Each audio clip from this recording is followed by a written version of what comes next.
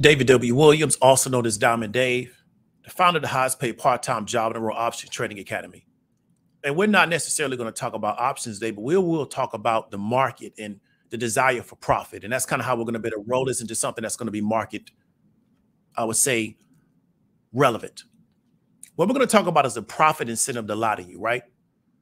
And what I mean by the profit incentive to lie to you is that often when somebody's communicating a message to you, you want to ask yourself, what is their incentive to create this message to me? And then you want to try to check the validity or verify some of what they say because they may have a profit incentive to lie to you. And we've seen this time and time again in the mainstream. We've seen this time and time again in media. And it's really a byproduct of the society that we currently live in today. It's much easier today to access media platforms than it ever has been in the history of the world. So then, therefore, you have more actors trying to use the media to craft a narrative and often the narrative that they're crafting is not 100% correct. And people used to blame mainstream media for this. However now we have independent operators doing this. So we're going to talk about a person who's presenting themselves as a political candidate for the i want to say what is it the 2024 election? Uh, named vivek ramaswamy. I believe that's his last name. However in my opinion he's creating a lot of false narratives but Vivek has a lot of things in his background that don't really match up to what he's telling you now. It doesn't mean that people can't change over their life. But what it does mean is that he's not really giving you the full story around how he became to be who he is currently now today. But it's very interesting that he claims to support specific ideals. And there's something behind that, in our opinion, that we believe is going on. So here's my overall premise of what we're talking about. Vivek is creating a narrative under instructions from a guy named Peter Thiel. Now, you may not know who Peter Thiel is. He's a billionaire. Um, some people call him venture capitalist. Some people call him an investor, but he's a billionaire. He's worth almost a little under $5 billion. And he's the reason why you currently are seeing a lot of things that you're seeing currently in the media, but also in the tech space currently today, right? Who desires to reshape the political conversation on the right.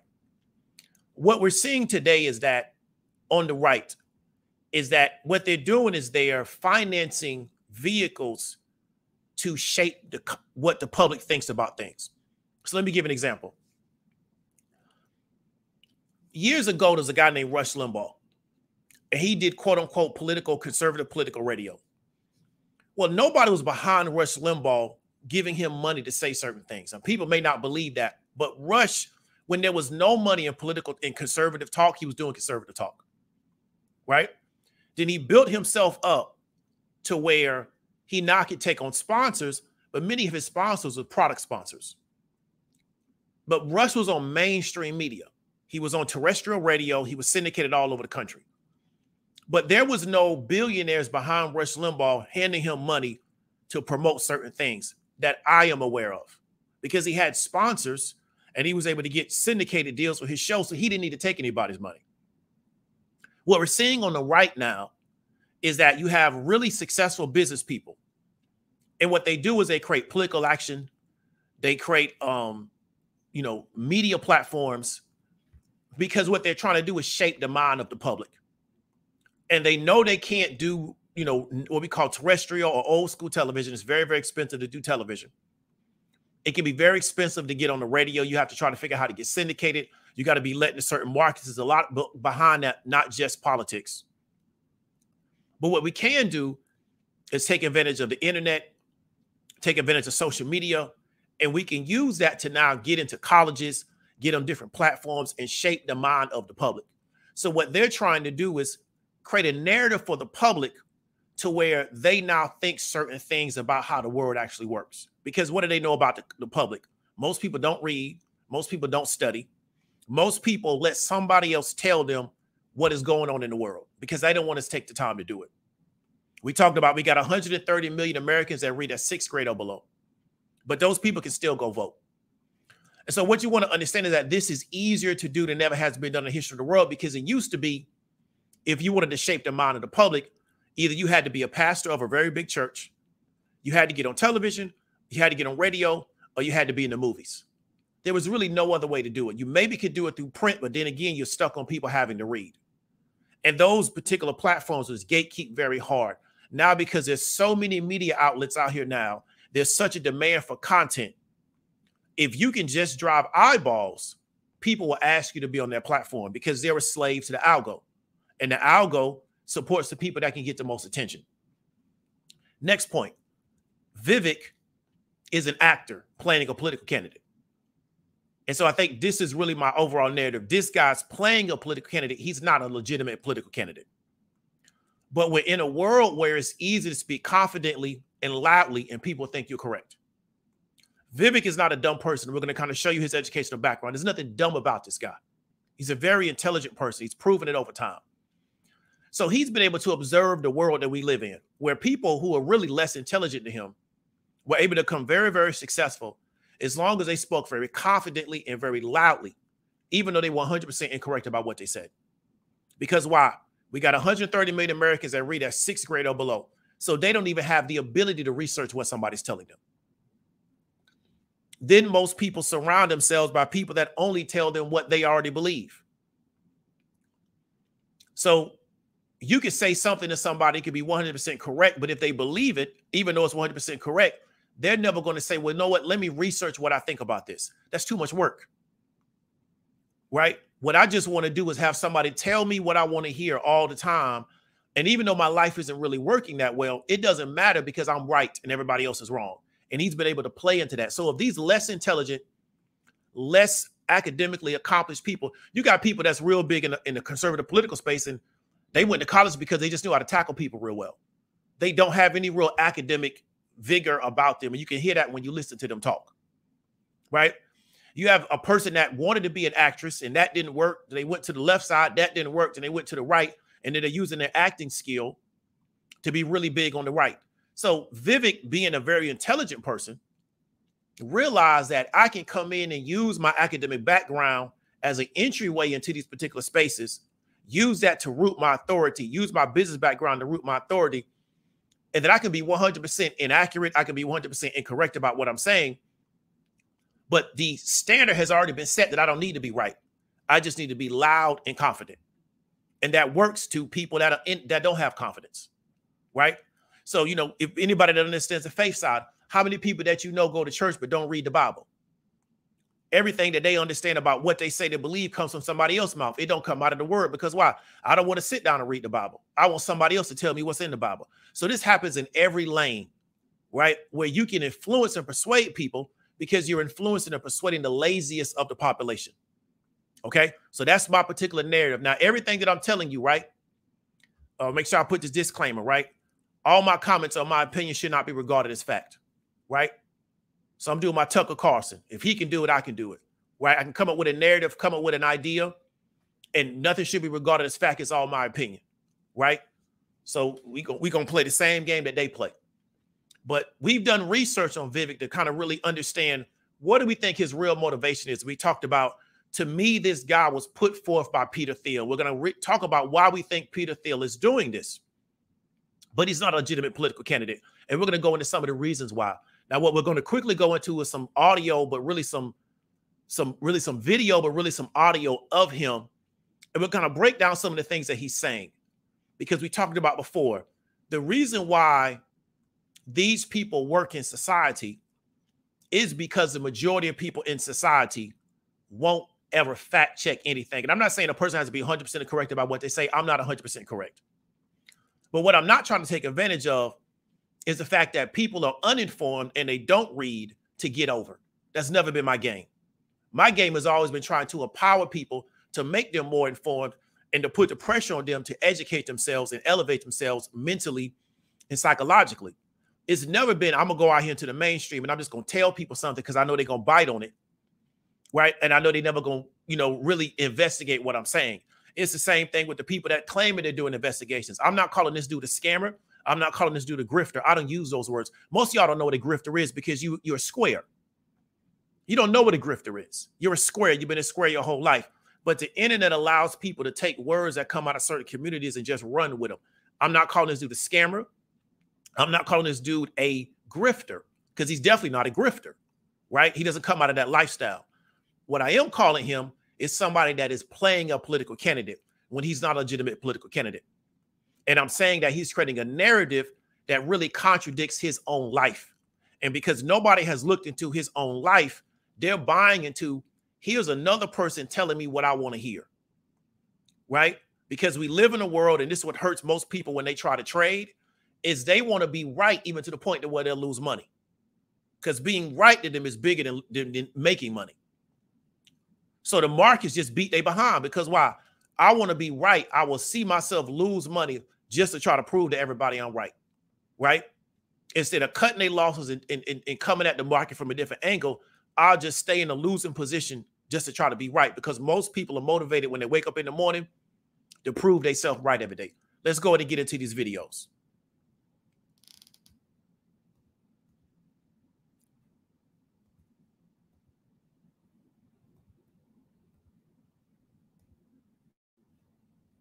Yes, I, I do. Um, so I, have heard a lot of you know what you think and your vision, and I am I'm a very practical person, and I want to kind of opposed sure. to talking about your opponents. Let's talk about you for a moment, and let's actually talk about your policy. Um, explain to me your position on this civic duty voting. Sure. So my position is, I think that every kid who graduates from high school should know the minimums about the country that we require an immigrant to know about the country in order to become a citizen. So there's a test. My mom had to pass it. Every immigrant has to pass it to this country that asks you some basic questions. What are the three branches of government? What branch of government does the US president lead? Some basic questions about what is the Bill of Rights. So, real quick, before we get into it, I forgot to remind you if anybody can tell me what the 20th Amendment is to the Constitution, I give you a $5 cash app. Right? Tell me what the 20th Amendment is to the Constitution. If you watch the whole video, you'll understand what I'm talking about. So, really quickly, I forgot to put that out there. If anybody can tell me what the 28th Amendment is to the Constitution, let me know. I'll cash up you $5 before the day is over with. All right, let's get back to the video. It's like a multiple choice exam, or some of them you write in. I think that if we're going to ask immigrants to pass that test, as we should, I think every 18 year old who graduates from high school should have to pass that as well. Because young people, it goes back to that issue of pride you don't value a country that you don't know something about. You don't value something you inherit. You value something you have a stake in creating, in building, or knowing something about. So, so how do we think big about this? Well, young people, as I told you, most of them, very few of them vote as it stands today. Super small numbers. And apparently 60% of them say they would rather give up their right to vote than give up TikTok. Well, I say, all right, let's take that to the next level. How about we do something that raises the voting age from 18 to 25 but you still get to vote at 18 mm-hmm. if you just pass that same civics test that an immigrant has to pass in order to vote. And tests aren't for everybody, so so be it. Then you at least serve in the military or a first responder role for six months. That's my civic duty voting proposal. And, and, and the, the reason is I'll actually make a prediction. I think youth voting in this country will. Okay, so really quickly, 152, he talked about people making like being able to pass a test. So you can't vote at 18 now, but you should have to pass a test right? Or serve in the military or wait until you're older to pass the test. Now, I know where this narrative comes from because I know what this guy is. This isn't a new narrative, right? But the question we want to ask, and the question that should have been asked in this particular show, is that should you be eligible to be drafted, right? You're eligible to be drafted at 18. That's called a selective service. So, should I be eligible to be drafted at 18, but I need to pass a, a test to vote at 18? So when I went to um, register to vote, I also had to register for selective service. I went to the post office with my mother. I did it. So I registered to vote at 18, but also had to register for selective service. So what he's saying is that you should be able to vote at 18, even though the government says that you are an adult at 18, right? You're a legal adult at 18. He wants to extend that unless you pass a test or you do six months of military service and then you're allowed to vote. But my question uh, they should have asked is that, well, is the person supposed to sign up for selective service at 18 but not be able to vote? Because then what you're saying is that the military can use you, can literally conscript you into their service, but then you aren't have the ability to vote. Well, what was the problem with us 50, 60 years ago? Is that we could get conscripted in the military service under law, but we couldn't vote. See, so when people talk about Ali and his stance against the Vietnam War, what they don't talk about is the fact that he was being drafted but could not vote in the state of Kentucky. and and the federal government would not enforce his ability to vote in the state of Kentucky. Right? But see, they they created so much of a of a distortion field around what he was doing, but really he was in an environment to where the federal government of the United States will not enforce my right to vote in the state of Kentucky, but they're going to draft me into the military, right? But then in my own state, I'm a, a citizen of the state, I can't vote. So then why should I join the military? But essentially, that's what he's asking for. So then what they should have asked is that, well, then what happens to the selective service at 18 for men? But the Breakfast Club, to me, their audience is really not that smart. Right. I know their audience, I know the type of people they have on. They're not a show for people to me that really are intelligent. The host really don't know anything about politics. Envy knows how to make money. He's a very financially successful guy. Charlamagne has done very well for himself but they don't really understand anything outside of like how to entertain people. So again, it's easy for this go this guy to come on his this type of show and say a lot of things, and they don't even know how to ask him questions around what he's saying. So until they brought in Tez Figaro and she started asking him questions that so many people got upset about, but see, she comes out of the political space. I may would I may have done things different than her, and you're going to hear it, but nobody on that show really had the understanding of how to question this person properly around anything that he was saying. So he's able just to come into these environments, talk real loud, be real confident, but be wrong. And they don't even understand how to even deal with this type of person. Let's get back to it.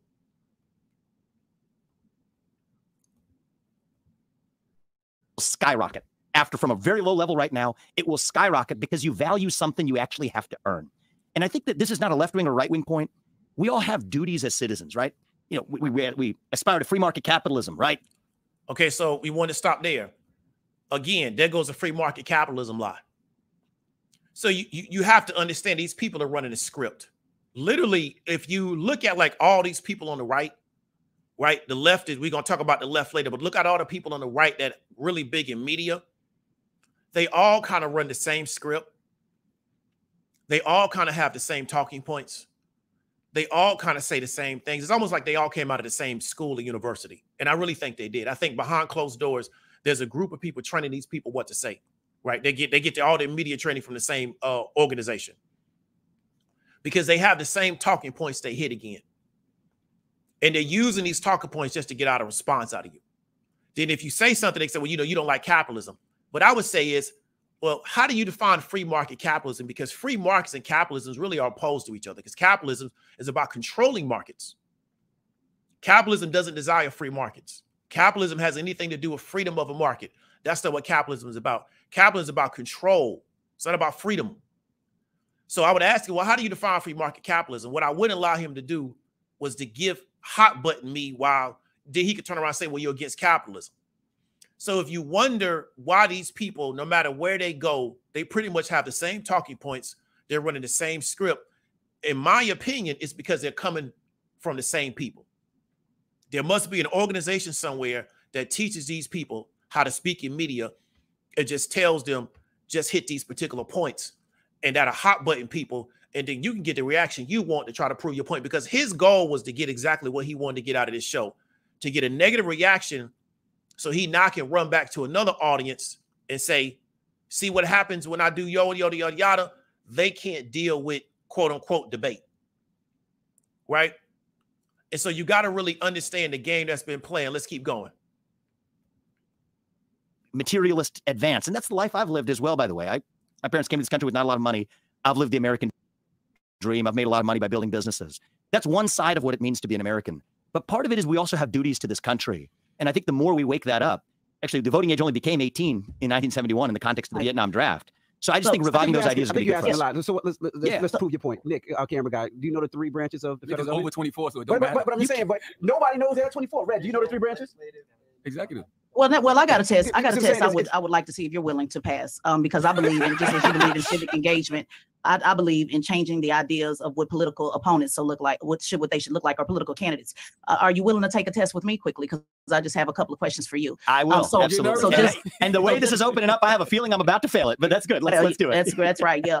Um. So, uh, just for clarity, I am independent. I'm not a Democrat or a Republican. Cool. I think that's important for the premise of the argument because I know you did a lot of debating at, at Harvard. Uh, it's also I also want to make it clear these are the same questions that I asked uh, liberal Democrat Marianne Williamson. So I want to make sure that we put that out there as well, just Fair to kind of set the foundation. I'm for the open to being humbled. Let's do this. Okay, great. Let's go. Um, so you mentioned, uh, you know, the pride of being an American and how important it is uh, to have pride in this country. I'm also a veteran, uh, by the way, uh, for the United States Air Force. So when is it that you voted for the first time? I voted in 2020. Okay, so you're how old again? I'm 37 years old. So for Okay, so really, so that's one point we want to jump out. 353. So he voted, he's 37 currently. That's what he says his age is. He voted in 2020 when he was 34. And that's his personal business. But it's interesting that now all of a sudden at 37, he's inspired to be president of the United States. But he he wasn't politically active until 2020. So this is what I'm saying is that this person being allowed to hit all these different platforms and nobody asked these type of questions from him is very unusual. Right? But like I said, is that these platforms are slave to the algorithm, they're slave to views, so they can't ask these kind of questions. Because see, let me give you a really quick example of why Breakfast Club did what they did. The Breakfast Club primarily is a music entertainment platform. And so what they do is they allow entertainers to come on their platform and to spread all kind of foolishness and whatever. Because let's say I represent a group of entertainers. They come on the Breakfast Club. Well, let's say one of them comes on the Breakfast Club. They have a bad experience. I can tell the rest of my entertainers we're not doing the Breakfast Club no more. But if I have hot entertainers, the Breakfast Club wants my people on their platform because why? That's good content for them. That makes them look good because they're a platform.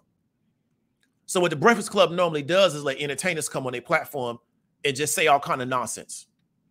And they never push back on anything that they say because why? We need people to come on the platform to make the platform valid. Because if nobody comes on, then we don't have a platform. But because he's coming out of the political space and he's not really somebody that their audience really would even listen to, it doesn't matter what happens with this dude. So that's why Tez was able to challenge some of the stuff he says because it doesn't matter if he never comes back because their audience doesn't care about this guy anyway. Their audience is really there to hear about entertainment and music. But he, you see, she's the only person that can put any kind of challenge up front to this guy because the other two guys, they don't know enough about anything except how to be an entertainer to even ask him the right questions. Because again, you're 37, you just started voting two years ago. So now at 37, all of a sudden you've been inspired to be president of the United States and you don't have any kind of political background. Right? So you're going to be the youngest president in the history of the United States. And really, what he's trying to do is he's trying to tap into the millennial audience that is starting to approach being 40 years old. So he's an older millennial at 37. He's trying to attack, attach that audience because what do we know about that audience?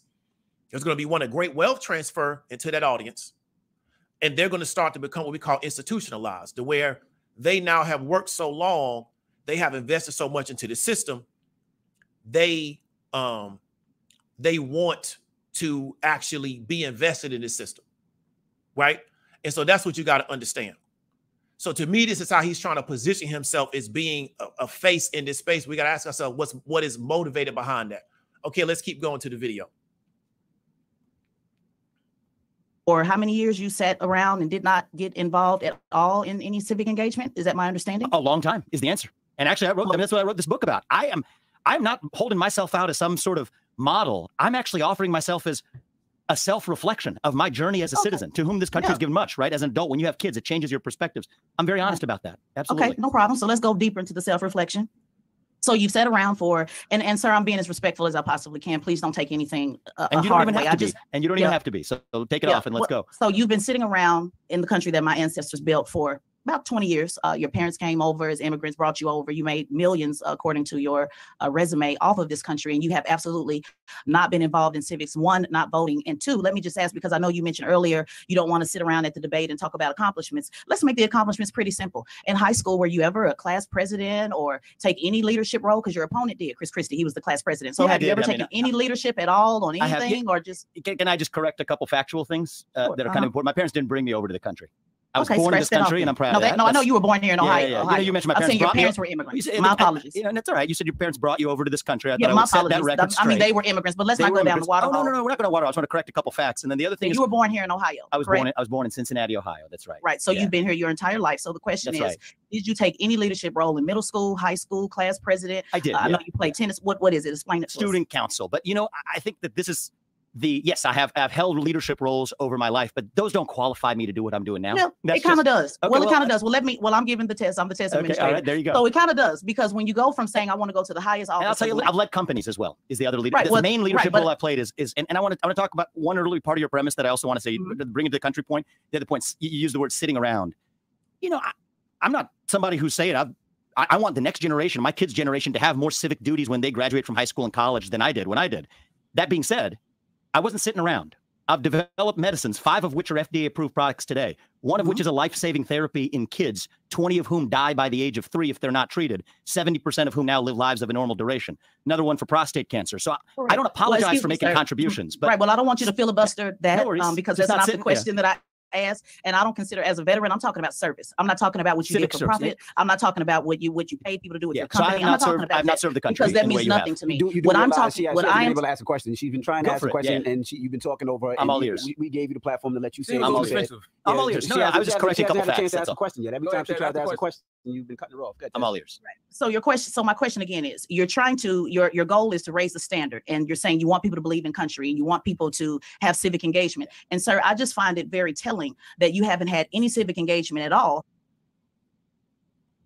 and haven't been at all. And when I say sit around, I don't mean you haven't done anything. I'm talking about in regards to service, because one thing about political office, the same way that you want to change how people look at uh, politics and look at this country, I want to change how people look at politicians. And when I see that someone hasn't did anything at all to be of service to mankind, to take a leadership role, it's not good enough to just be on city city uh, student council were you a leader. All of that applies. Have you been able to get anybody in the room at any time from a high school gymnasium to ohio uh, republican leadership there to now? Have you been able to get anybody in the room to believe in this vision? I don't agree with a lot of your vision statement but i do know you've been going around having these discussions and getting everybody emotionally worked up to talk about vision and debate but i want to get to the practical. You're trying to go from preschool to, to president of the united states. You're skipping over city council county council mayor governor. You want to go straight to the top. So my question is this a pr is this for the pr the perception of reality or have you can you point to any leadership where you've been able to get people to believe in what you're talking about that they're not paid to do on any of these vision statements that you have? If not then to me it's just it's a mute point because you're, you're telling you're holding a standard that you haven't met yourself.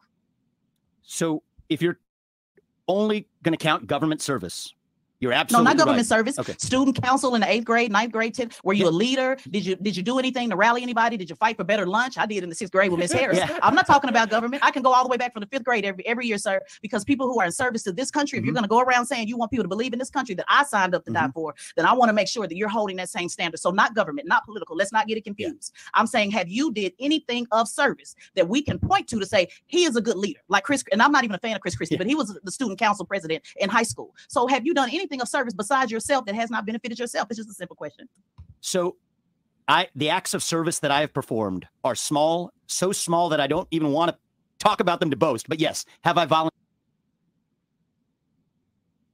A lot of Republican presidential hopefuls are happy with today's decision, including Vivek Ramaswamy, who joins us now in studio. Thank you so much for your time tonight. It's good to see you. All right, so I want to start out with uh, something that you posted on Twitter, uh, saying affirmative action is the single greatest form of institutional racism in America today. Why do you feel that way? I think by definition, there are institutions that regularly take race into account as a factor on whether or not someone gets a job or set whether or not someone gets a seat in college. By definition, that's institutionalized racism. And I think the Supreme Court made the right decision today to vote on the side of meritocracy over race based preferences. I think that's a step forward. It's not a destination. As the next U.S. president, if I'm elected, I would eliminate race based affirmative action in every other sphere of American life as well, including in the economy where it runs rampant today. So I want to just throw some numbers out there, right? The University of California system banned Okay, so you hear his last statement. Now, the reporter that he's interviewing with is running a program. So she can't really veer off the program that she's been given by the producer and the director. But when he made that statement for people that are actually politically astute, that understand the, the, the actual decision by the Supreme Court, my follow-up question would have been, right, since you said that, right, that you would eliminate it in, all areas of American life, right? Why not ask him would he seek to get rid of affirmative action policy in military academies? Because if you actually read the particular, uh, I don't know what you want to call it from a legal standpoint, but if you read the document, it's about 257 pages that came out of the Supreme Court. They exempt the military academy when it comes to affirmative action. And so here's an article, right? And we're not going to be able to see it, but it says that in a blockbuster decision that essentially ended the use of race in college admissions, Chief Justice John Roberts gave U.S. military academies a carve out uh, Simply put, West Point can keep using affirmative action, but Harvard cannot. And no military academy is a party to these cases. However, in none of the courts below address the propriety of race-based admission systems in that context. Robert wrote in the note at the bottom of page 30 of 237. So to me, that would have been a good follow-up question. But we're in an environment to where we, again, if you speak very loud, you speak very confidently, and you sound like you know what you're talking about, nobody questions you. And when you go on these particular type of platforms they're running a program. So they don't have the ability to veer off their program. So it doesn't matter what you say they just have to stick to their program because they've already decided we got to ask you these particular questions because this is already what the producers have fed to that particular person. You can't do really anything spontaneous or you know kind of like at the moment. Let's keep going and the use of race in admissions in 1996. In 1996, 7% of the students there were black. Today, that number is, is 2%. If you was not that environment. Americans have, uh, in a shrinking economy, we should not cut entitlements. Can I ask you about another issue? This is also something that your opponents, Ron DeSantis and Donald Trump, have called for, including DeSantis very recently, which is an end to birthright citizenship. What's your position on that? Would you end birthright citizenship? I think for a period of time, I think it's going to be necessary in this country because we have an influx of migrants across that southern border 14,000 plus per day by some estimates crossing that southern border.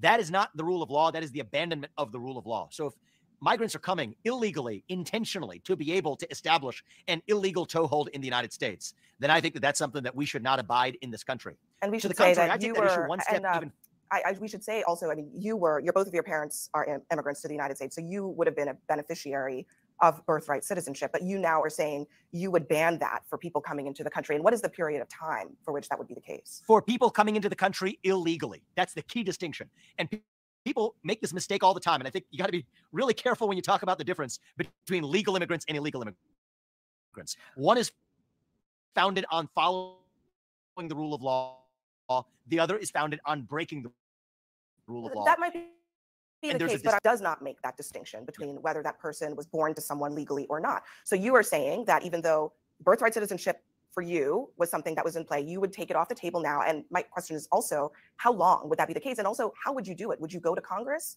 for a constitutional amendment? Well, actually, I've supported the 28th Amendment to the Constitution. I'll actually go one step further on this, Abby, is that I don't think someone, just because they're born in this country, even if they're a sixth generation American, should automatically enjoy all the privileges of citizenship until they've actually earned it. So, one of the things I've said is that every high school student who graduates from high school should have to pass the same civics test that every immigrant has. Okay, so we see again is that he just goes right back to the narrative. And we're going to kind of talk about why he has that ability to do that at such an elite level. So you see that it doesn't matter what he says and what somebody else says, he just rolls back to his talking points, right? Um, and again, we talked about before, he talked about he supports the 20th Amendment. I don't understand what that had to do with the context of the conversation. But for some reason, he had to throw that in there. I didn't know there was 28 amendments in the Constitution, but I'm not a constitutional scholar, so I could be incorrect. Okay, so that's the video, right? So these are, in my opinion, the way the media is handling him and the last video at the end was the first person that kind of questioned some of the inconsistencies in what he says in his real life. And we're going to kind of go more into that, right? So let me go ahead and start getting these uh these slides up because I think that what he's presenting to us sounds good to the right people, but his life doesn't really represent that. Right? And so that's why I said that this guy is an actor playing a political candidate. Right? Because he had no political aspirations a year ago. He didn't serve on any local politics. He had, and so at 37 now, you want to be president of the United States. Uh, that's not really believable. But like I said, you're dealing with a large amount of population of people that don't read; they just react to stuff. Um, if you long as you tell them what they want to hear, they're all for it. He understands that because this is not a stupid person. Let's go to the next one.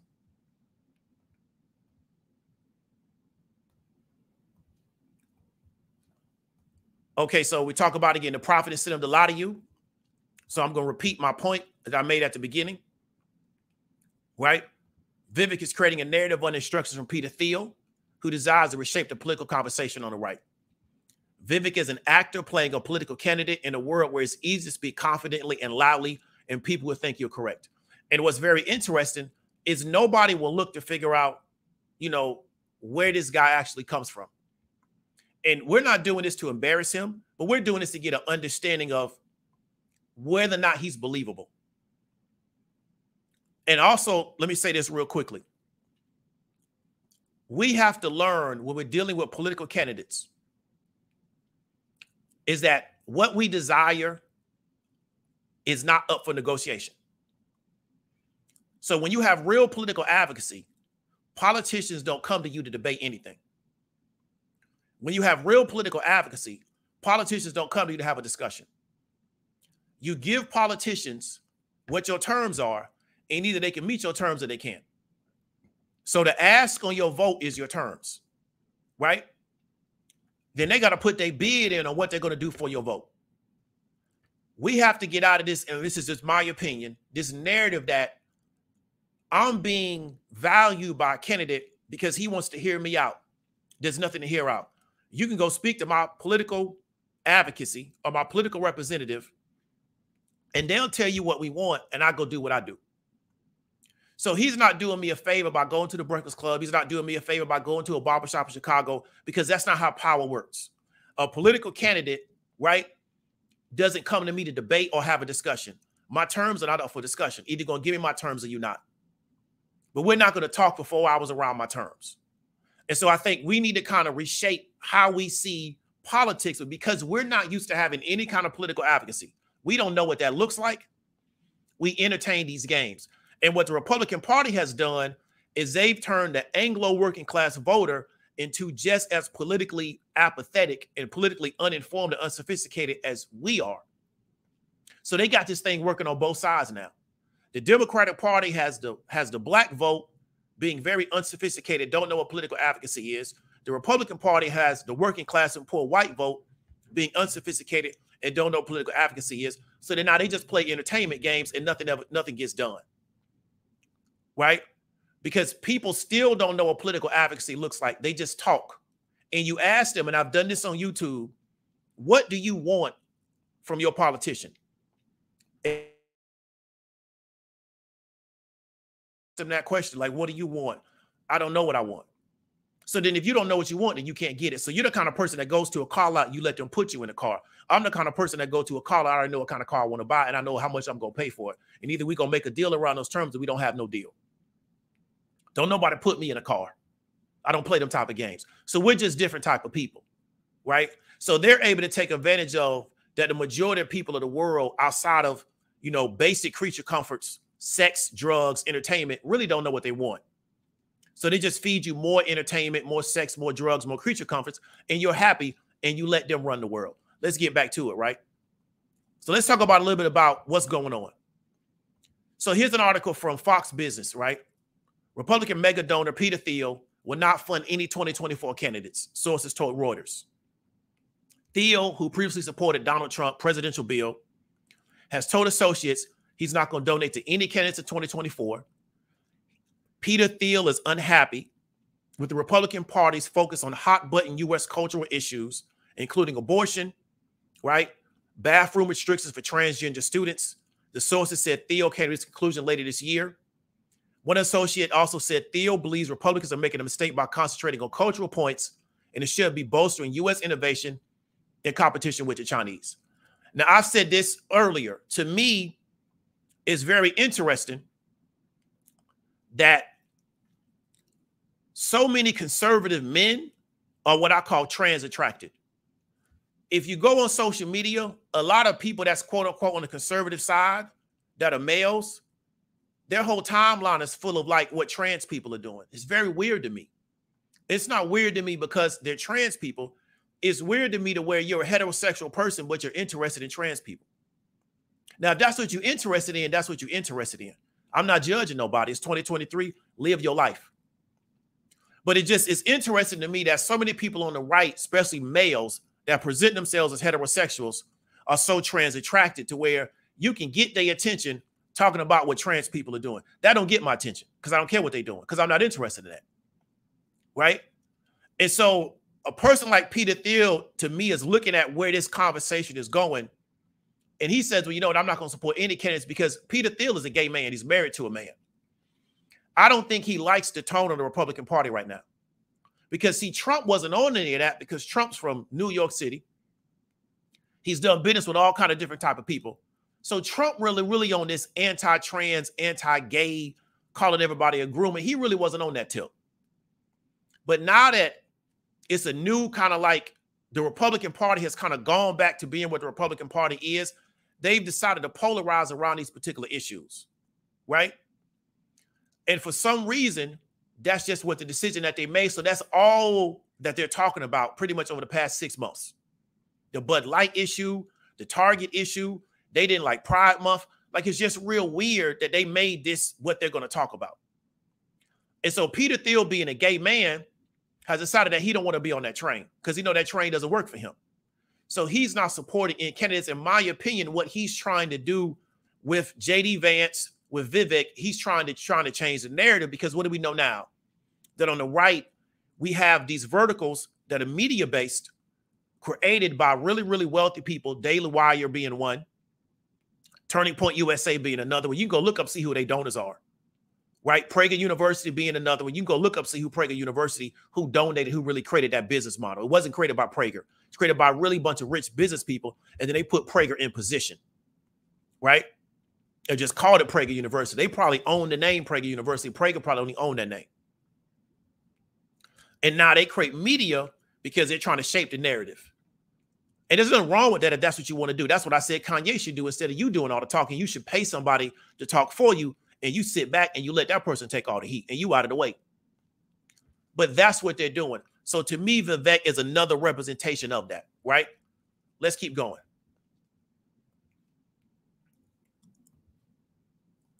Now, this is what I want you to understand about Vivek. Vivek is a Brahmin. And now we're going to get into why I don't believe a lot of what he's saying. He's a Brahmin. Now, if you understand Hindu culture, you understand that Hinduism is based on a caste system. And I'm not an expert on that particular culture, but I'm going to give it to you based on my understanding of it. You're born into a particular caste and you're fixed in that caste. There is no real economic upward mobility or social mobility. Now, have some people out of lower caste done very important things in Indian society? Definitely. But when you're looking at Brahmins, they're around 4% of Indian society. They're around 4%, but they're the top caste. So he is a top caste person. He comes out of a top caste family, right? So when this guy, we're going to kind of talk about this throughout this conversation, you're going to hear him if you listen to him speak say he believes in meritocracy. He believes he's against affirmative action because he believes America should be based on meritocracy. That's unusual to me because you are a member of a religion where there is no meritocracy. You're born into a particular caste. Your jobs and your duties are really supposed to be based on that caste also. You can't get out of that caste. You're often not allowed to marry out of that caste.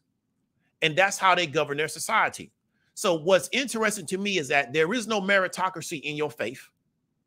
You're born into a position, you're stuck there until the day you die. But now you believe that everybody in America should operate in a meritocracy, but in your own faith, there is no meritocracy. It's not like my faith to where your seals can be your sins can be washed away if you just accept the Lord, right? Or you say, "Hey, I'm living by grace," right? So you you a sinner, but you living by grace. You don't have that concept in His religion. You're born into a particular situation. And what you got to understand is that I know that India can't be a, to me, a great place to live Well, when you have people born at the top of Indian society in a very small amount of people, and they get the benefit of being on top and they still leave India. It got to be a lot going on in India for them not want to stay there because everything in India is set up for them to be successful. Now, who else is a Brahmin? The guy that's the CEO of Google, he's a Brahmin. The top guy, Microsoft, he's also a Brahmin. So, what you're seeing in American society is that a lot of Brahmins are coming into American society and they're operating at a very, very high level because that's already what they were doing where they're from. They just don't want to do that where they're from.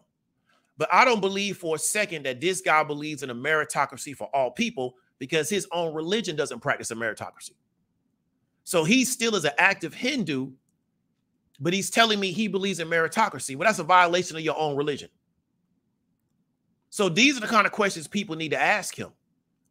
Why would you speak about meritocracy and everybody just living off their merit? But in your own religion, you can't. If I'm born as a Sudra, I can't merit myself up into being a Brahmin. It doesn't work that way in this system. I'm stuck being a Sudra until the day I die. Let's go to the next one. So I want people to understand that. Now here's the high school he went to. Now he'll talk about the fact that he went to with he went to public schools from zero to eighth grade. And he'll speak about that and talk about how he went to school with black people, yada yada yada. But he went to high school, a place called St. St. Xavier, right? In the Natty, also known as Cincinnati. Now, St. Xavier is a Catholic school. Here's their mission to assist young men in the formation of leaders and men for others through rigorous college preparation and Jesuit tradition.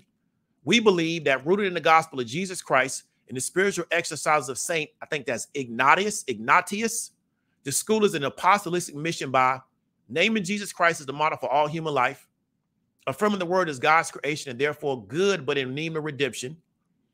Last one, providing students with comprehensive instruction in Catholic beliefs and practices, providing students with opportunities for spiritual formation in the Catholic faith through participation in sacraments, prayer, retreat service, and other spiritual programs.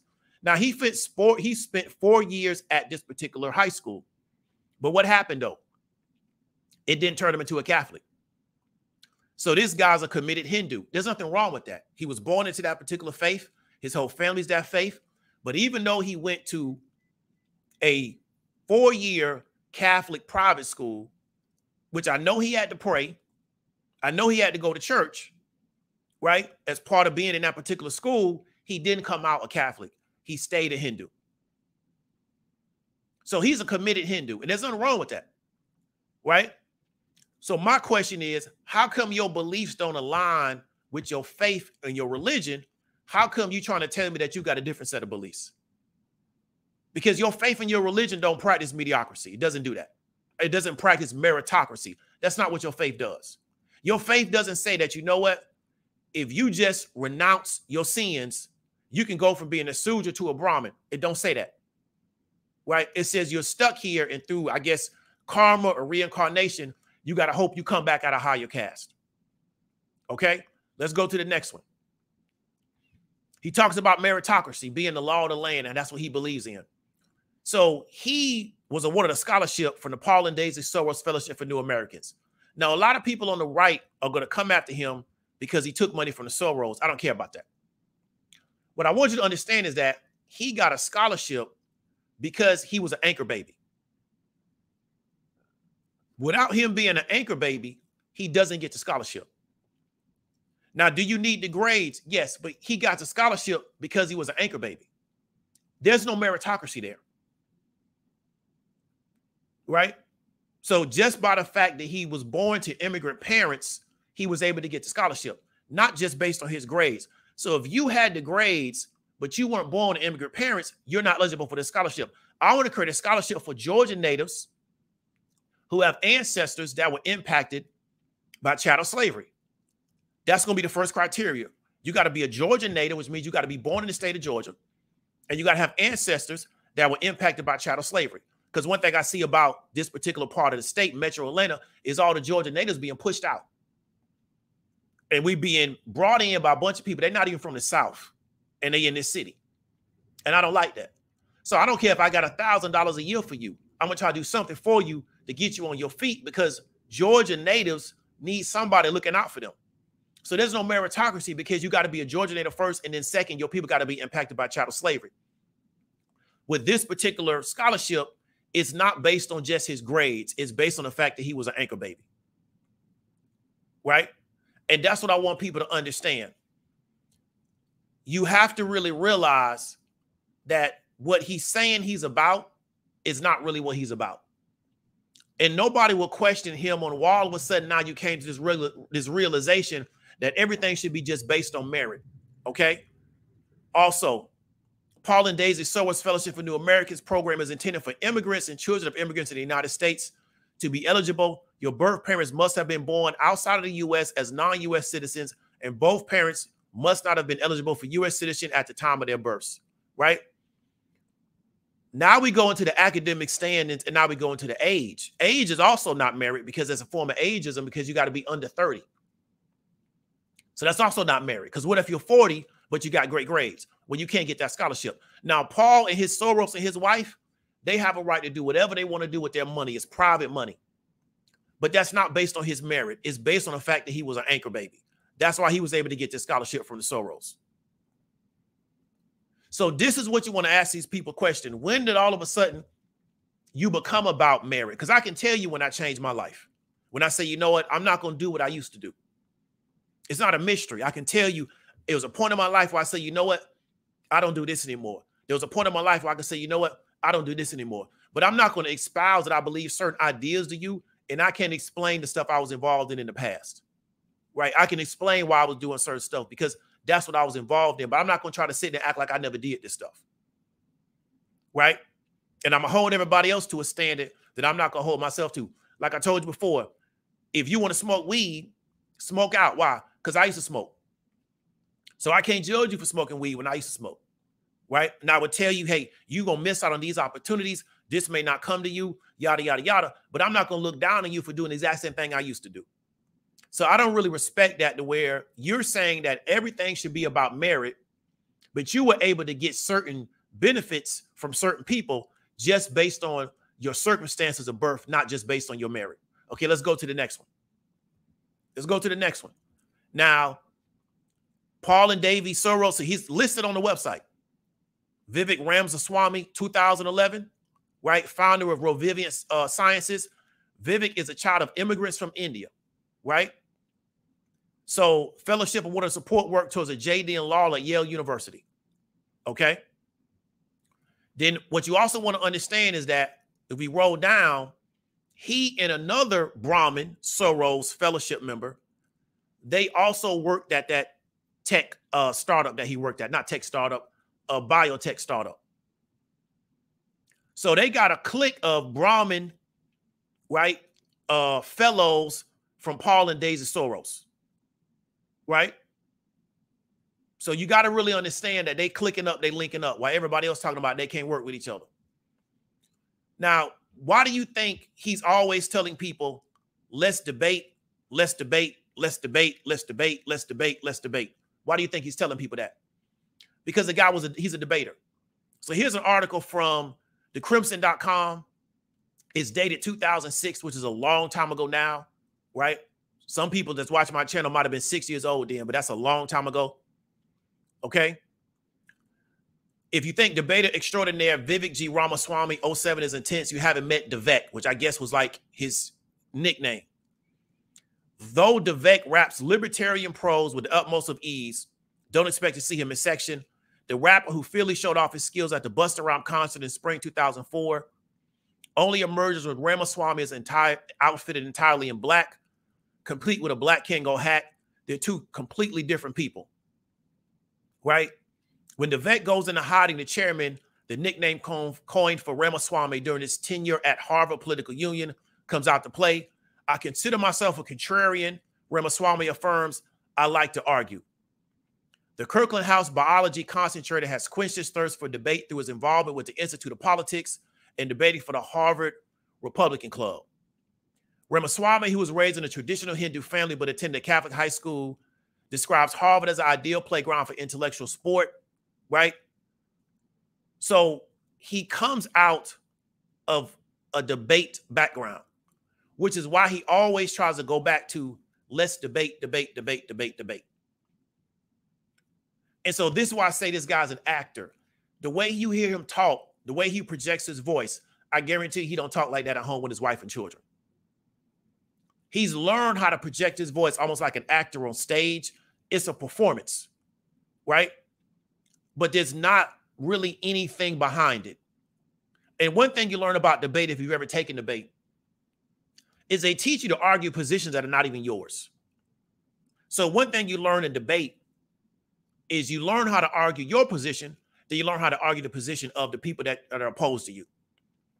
They have something called impromptu debate where they just give you a position and you have to argue it. And so you learn how to be very skilled at arguing positions that necessarily um, aren't yours because this is sometimes what you have to do in politics. They may just say, hey, we need you to stump for this particular issue. And when you listen to him talk, everything sounds like a stump speech. He's always stumping for something, right? And that's what I want you to understand. This guy comes out of a debate background. He was an experienced debater. He was very uh, enthusiastic about debating. So this is why he always tries to bring things back to the debate model. This is why he says, well, let me come on your show. We can have a debate. Let me explain something to you. My political advocate is not going to debate with you about what we want. There will be no debate. Either you're going to give us what we want or you're not going to give us what we want. We're not going to argue with you because we're not entertainers. I don't run a media platform. I run a game platform. We will not entertain you. Right? So I know why so many people like him because we got so many people on YouTube that like to do the eight hour live streams everybody just yells and screams at each other at a very loud voice. So they love this type of stuff. This is their new form of entertainment. Right? This guy is a debater. He's really low key, almost a professional debater.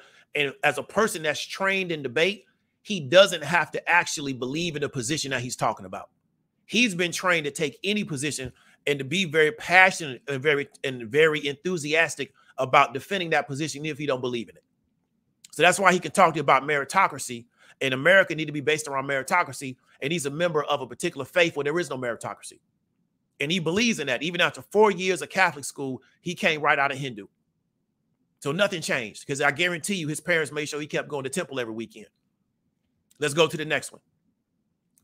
Now, here's his Vimeo page, right? Here's his Vimeo page. Now, let me go to his Vimeo page in another section. Let me show you this real quick. Because, like I said before, this guy is very much academically accomplished. He's a very smart guy. There's nothing dumb about this guy. So, what you're not going to hear me do is call the guy dumb. Right? Won't happen. Now, here is his Strive Media reel. The goal is to restore the voice of the everyday citizen in corporate America where they He haven't been heard. of a company called one of the problems in this country, Steve, is that the three largest asset managers in the world, that's BlackRock, State Street, and Vanguard, these three firms basically control nearly every public company in corporate America in Now, an you know this indirect was a way. year ago. I think they're using their clients' capital to years ago. advocate for viewpoints in the This boardrooms of corporate years ago. America This a year that ago. A most but of their 37 years own old. clients In disagree with. politics, national And politics, here's the problem. Glenn. Just think about this as a, as a second for a thought experiment, all right? If you had the CEOs of Exxon and Shell and Chevron get together in a room and say, we're going to cut gas production, and then gas prices spike at the pump as a result, mm-hmm. this would be the stuff of movies. People would be walking out, perp walks, and handcuffs. Okay, it's Yep. antitrust violation. Yet today, when the largest owners of those firms effectively direct them and mandate them to do the same Okay. thing, somehow that gets So that's celebrated as ESG instead. For the argument Strive Media. But let me show you something else. See, so he got a cold little Vimeo page. See, we do research over here. That's why we're so good in the markets. Valedictorian. I've been racing my entire high school See, so like I said, this is not a dumb person. But now when we're finally crossing the finish line, I wish I could have stopped just a little earlier and caught a breath of the fresh air that had surrounded me the whole time.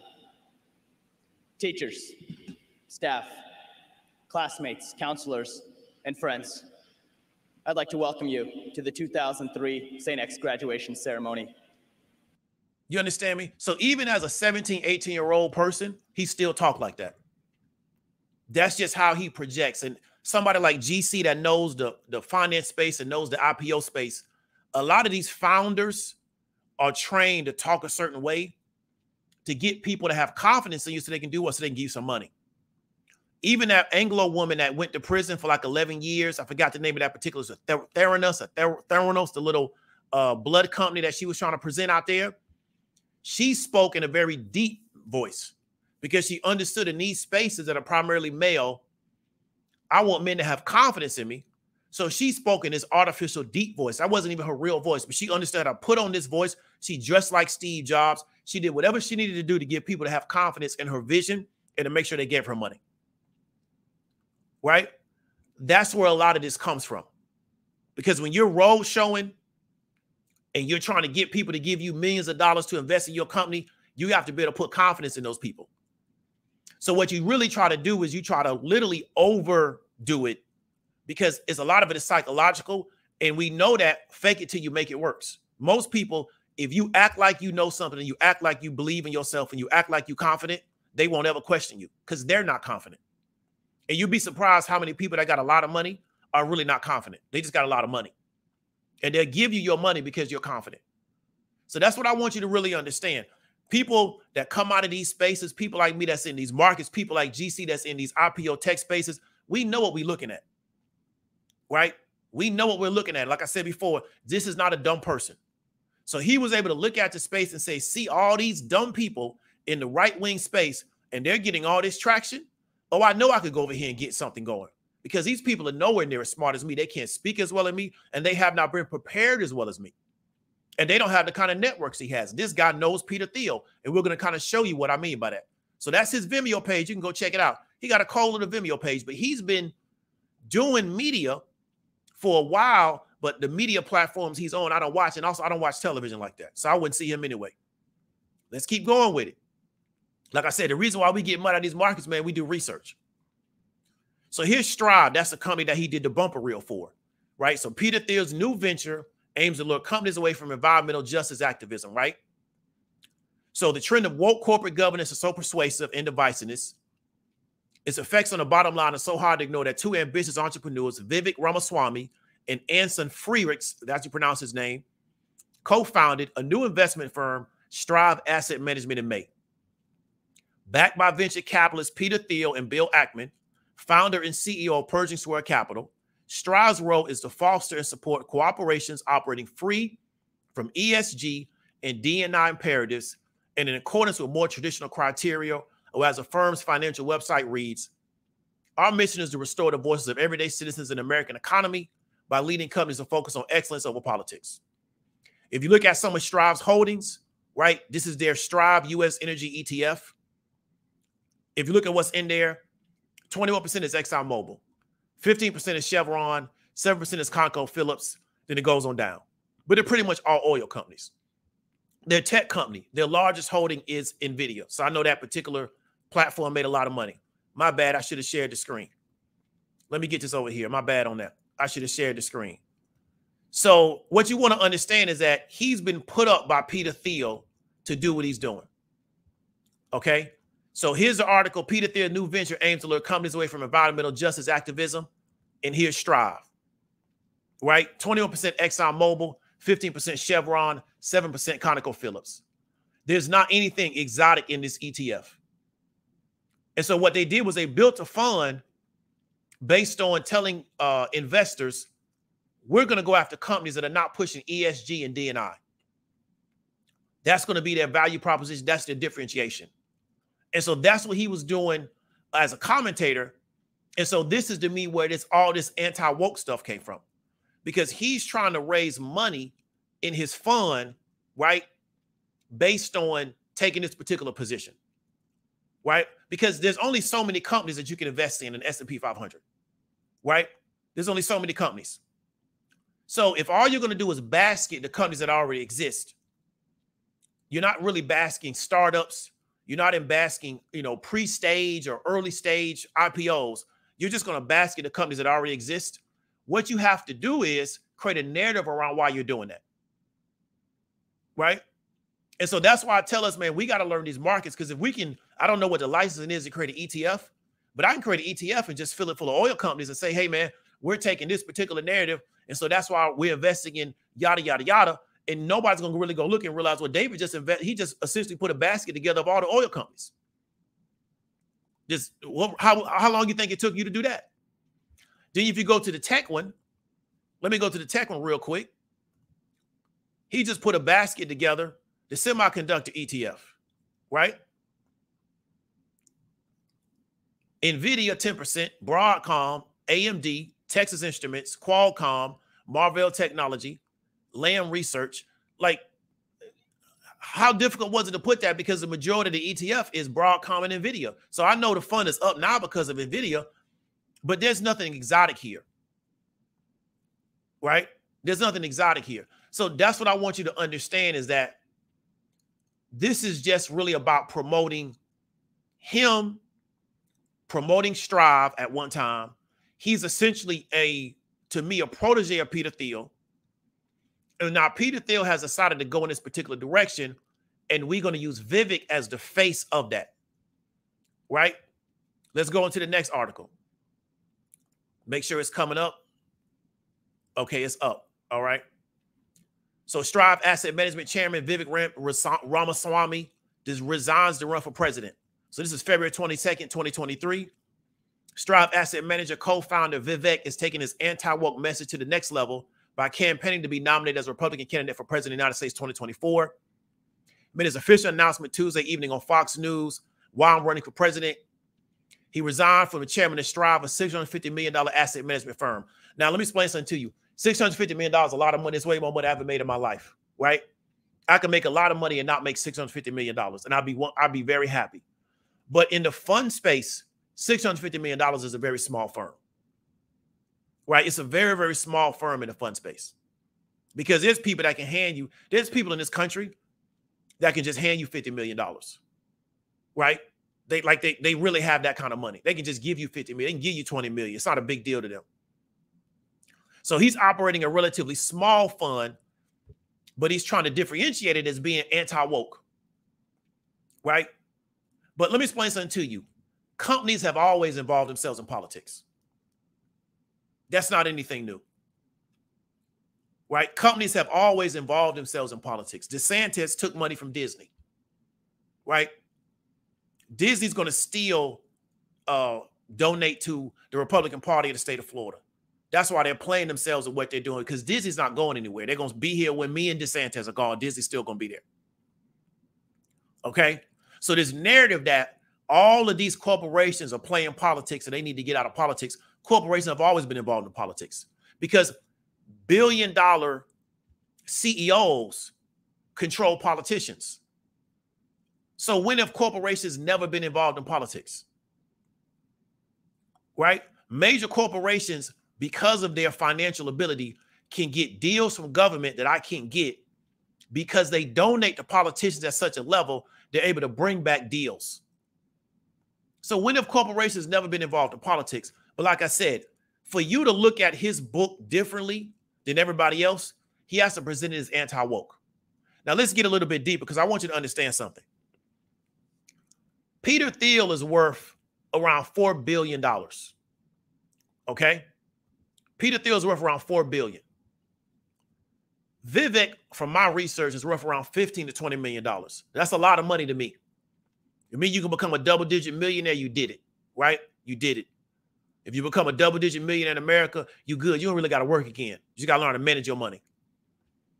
However, one of the easiest ways in this world to become rich is to work for rich people. Not work a job, not like say go work for Home Depot. No, one of the easiest ways to become rich in this world is to go work for a rich person. So if you work for $100,000 and you go work for somebody worth $10 million, they can help make you a millionaire. Because why? Their network is millionaires. If you a double digit millionaire and you want to get north of that $100 million mark, you know what you go do? You go work for a billionaire. And so to me, Vivek has decided I'm going to work for Peter Thiel. I'm going to serve this man in a way in which he wants to be served because what? He can take me from 15 million to 100 million. Because even though that IPO was, you know, everybody wants to talk about he did drugs and yada, yada, yada. Most people that are talking about this guy was working with in the biotech space, they can't even name you the drugs that are on the market. They don't, they don't look at companies like that. That's what we do over here. They don't do that because they're going to be talking about something next week because earlier this week they was talking about something else. Last week they was talking about Umar Johnson. So they got to just create a new story every week. So they're gonna just touch the story real light.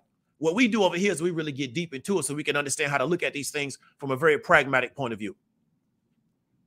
Right? So, in my opinion, he's been recruited by Peter Thiel to craft a certain narrative because he he can play the I'm the child of immigrants.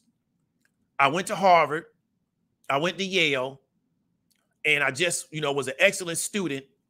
And so I believe that the American dream can work for everybody.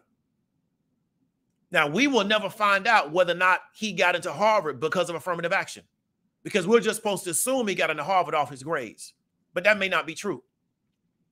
We'll never find out whether or not he got into Yale because of affirmative action, because we just supposed to assume he got into Yale off his grades because he's an Asian, but that may not be true. Right? So he's able to play this role and then he's able to confirm the belief that a lot of people have is that, you know what? Well, you know, Americans are meritocracy, man. You know, American uh, uh, work better if everybody just operate off merit. And he had a woman ask him the other day about when you're talking about affirmative action, how come you don't talk about white women being the biggest recipient of affirmative action? And he acted like that was the first time he had ever heard that. Because he can't get traction in conservative spaces talking about exempting white women from affirmative action. They don't want to hear that because the white woman primarily is married to the white man. And the white man don't want the white woman to get denied of opportunity because what is that going to do? That's going to take money out of his household. Right? So his job is to is to promote economic warfare and lack of access for black folks, not for white women. So that's why he can't talk about that. Right? So that's what I want you to understand is that there's a profit incentive to lie to you. And the Breakfast Club killed this particular guy's false narrative. Now, if you disagree with me, about what I'm talking about, let me give an opportunity to come on live. Right? But what you got to talk about is the actual topic. Everything else is you're not gonna be able to talk about that. There's one thing about us, man. The reason why we're so successful because we know how to stay focused. So if you want to come on live and if you disagree with what I talked about, here's your opportunity. Let me go ahead and pin that in there. So that's pinned in the chat. And then I'm gonna read the comments, man. We're gonna get up on out of here. So let me put this banner up real quick. And really quickly before we get out of here, man, the show is sponsored by www.thehighestpaid.online. Next week, we're going to be launching buy now, pay later uh, solutions for you, right? We're going to be offering buy now, pay later. Also, got a PDF coming out that, in my opinion, will save you thousands of dollars over the course of your life, right? And we still got the best options trading academy. We still put the most time into the academy we still are constantly working to improve the academy because the difference between me and Vivek is I couldn't get no scholarship, man, just because uh the situation behind my parents. I really had to go put the work in, right? Didn't nobody favor me, man, just because of where my parents came from. I really had to go to put the work in. So we built everything because of our community and because we was willing to put the work in. So yes, yeah, so you want to come on, man, come through. Let me read these comments when we get up on out of here. And don't be shy. So I'm gonna tell you, you know, all the chat warriors, when you cold in the chat, just get on the mic and be cold on the mic. Be like Vivek. Don't let this Indian dude outdo you, and you from here. Don't do that. Let's keep going. So Ray Gun, man, I appreciate the two dollars. Uh, Julian Brown, I appreciate the five dollars. Getty L, I appreciate the five dollars. Donna Watts, man, I appreciate the 1999. Lovely, uh, lovely mind, I appreciate the twenty dollars. Oh my bad, I ain't even reading it out. So Mark Brown says, my appreciation. Donald Watts says, Dave is undefeated out here. Lovey Mind says, great analysis, Dave. I appreciate it. Mark Swift says, I work with many people born in India. They don't want to return to college in the U.S. The Anarchy is a great book about India, and the East India Corporation took over that country. Okay, I'm gonna check that out. Appreciate the uh, the heads up on that. Jared, twenty dollars, man. Appreciate the twenty dollars. Dave on point as usual. Getty L, man. Appreciate the twenty dollars. Amika, appreciate the ten dollars and on Uber. I appreciate the 1999, man. Appreciate everybody coming through with the super chats. So, like I say, man, if you want to, if you disagree with me, let me put that up there. If you disagree with me, man, come on live. You know, um, the Umar uh, situation got live, man. Don't, you know, don't be scared to come up here. People making three hour videos about the Breakfast Club. I know y'all got something to say about it, and they didn't like what they said to that dude. I don't know why y'all care what they said to that dude. He don't care what they say to y'all. Let's keep going.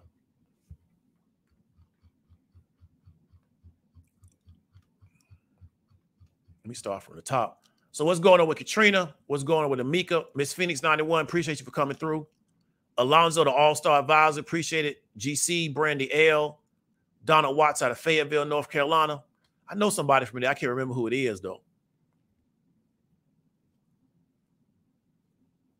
Right? What's what's up to the East Bay? Atlanta. Yeah, definitely. JD Vance and Blake Masters. Right. So JD Vance is another Peter Thiel creation. I need to do some research on Blake Masters, but I know who JD Vance is.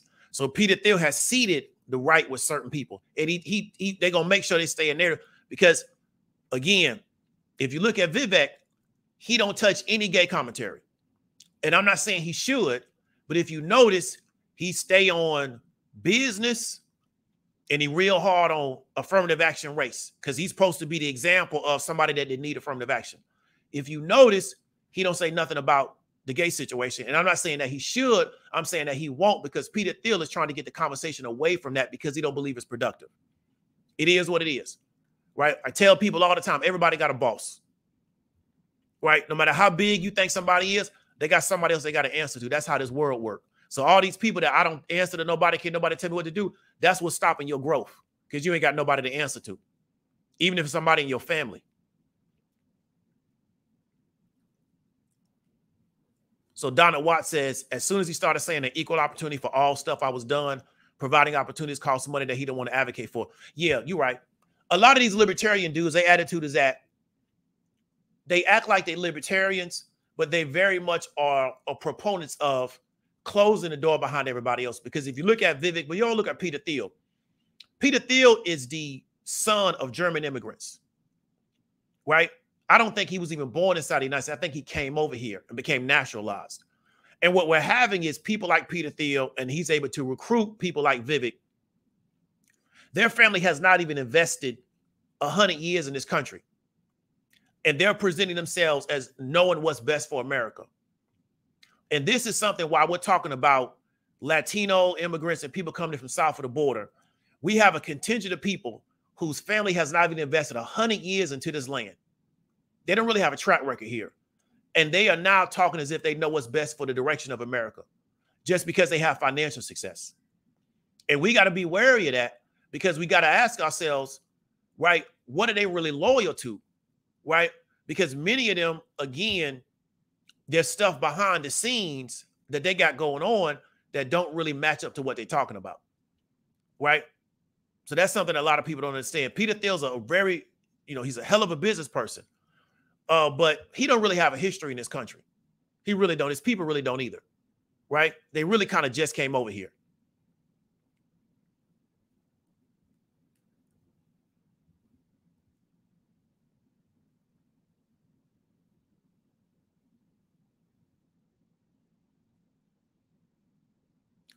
So she must she she be amused, says he where do I take civics in the eighth or 12th grade?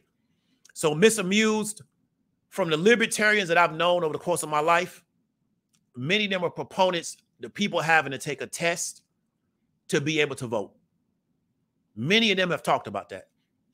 They believe that you being a person being able to vote just by their age allows people to vote that really are not quote unquote uh, qualified to vote.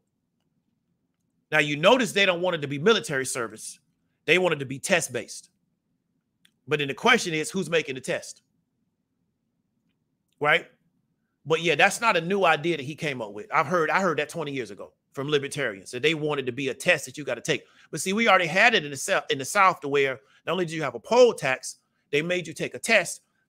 And if you look at the test they have people take, they did an exercise years ago about the test that I think Mississippi was making black people take the vote, and they gave it to a bunch of Harvard students and they couldn't even pass the test. So the test wasn't even passable. But they can say, well, we you didn't pass the test, that's why you can't vote. So you got to kind of be me. You got to put your antennas up when people are saying, "Well, you can get drafted at 18, but to vote, we want you to take a test." But it is what it is. I think people don't know enough civics, but then the question is who's teaching it? Yeah, definitely. Just executive, legislative, and judicial. Yeah, I mean, I know that, and I'm not the, I'm not a civic superstar. But I know the people in the Breakfast Club don't know that. That audience is really not that sharp.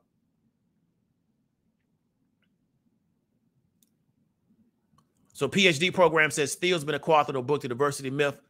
He's been on this march for decades. Yeah, I believe you. I 100% believe you.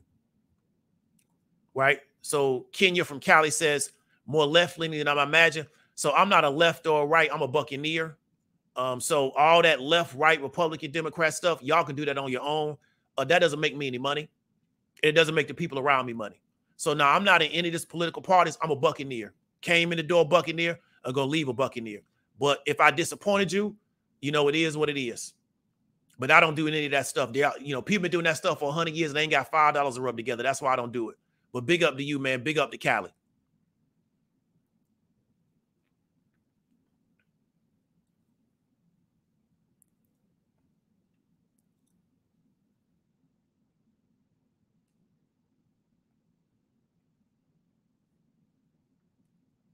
So Levante says the 20th Amendment changed elected officials. Okay, I don't understand what that means. 20th Amendment, right? I got to go verify that because I only thought it was 27th Amendment. So is there actual 20th Amendment or a proposed 20th Amendment? So what is the 20th Amendment? Right? So I got to go verify that. Humble manifest of riches. But do this. Put your uh put your super chat in the in the in the comments so I can see it on the live on the replay. So if I verified, I'll shoot it to you because it ain't nothing to me.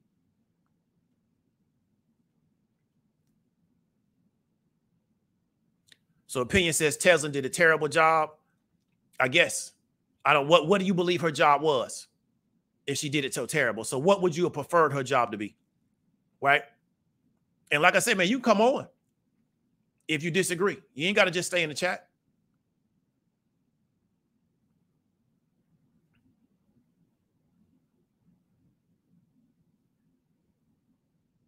So six the goddess says six six goddess He's only here in America because of civil rights that blacks fought for. I don't see Indians at the marches. You know, everybody knows that. You know, it, it is what it is. You know, um, I think we have done a terrible job of uh, putting a wall around the work that we've done. We've let everybody eat off the work that we've done. And most black people can't even eat off the work that we've done. Right. So we've had affirmative action, let's say since the late 60s, but even though it really didn't get rolled out into the 70s, a lot of that affirmative action policy got gutted in the 80s. Most black people never got access to affirmative action policy. They still not getting access to it. As a black man, I get the least amount of affirmative action, right? Because I'm not in the military. And we saw how the military um, is not going to get rid of affirmative action because they understand that they need diversity of leadership because we have a we have a military that just that's disproportionately black and Latino, right? So they understand what the future of their military needs to look like um, but if I'm because I'm not in military service, I get the least amount of affirmative action. So most black people have never really been able to tap into affirmative action policy. This idea that every black person is where they're at because of affirmative action really, to me, feeds into this idea that white people just default are better than black folks. So they got to be, unless it's sports or entertainment, right? But it is what it is.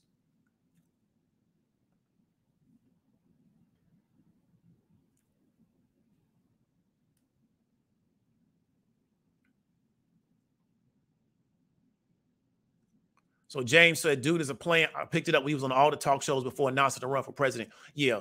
Yeah. I wonder who his uh his PR firm is. And that's something that Tes- Tezlyn was asking him. Right. Is this just a PR run for you? Right.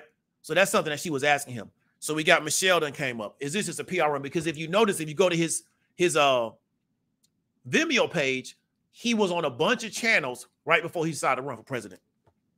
So they was doing a lead out. They do that in entertainment all the time. They don't just put you out there. You know, Master P, you know, before he put you out, he puts you on five different people out while so people get familiar with you. Then we drop the album. We just don't throw you out there to the wolves because nobody don't know you ain't got no credibility. That's the game. Okay, so Miss, let me go and pull up. Miss Michelle came on. Yes, ma'am.